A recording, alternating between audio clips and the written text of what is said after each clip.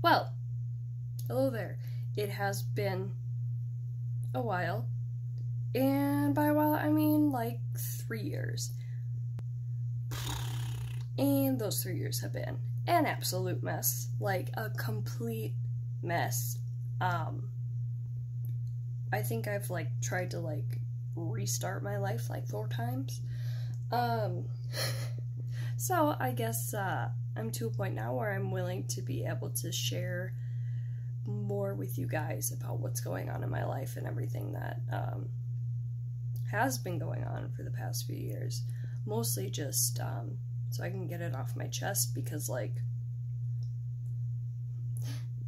I have cats and I don't have very many friends to talk to. Um, yeah, so I guess I'm just uh, posting this on here um, to all 18 people that are subscribed to me. Thanks, by the way. Two two of those are my parents, my mom and my stepdad.